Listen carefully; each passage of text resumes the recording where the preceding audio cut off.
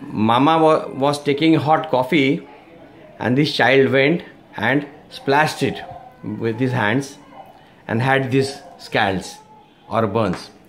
So do not have too hot things when there are kids around. Keep them away from hot things. Thank you.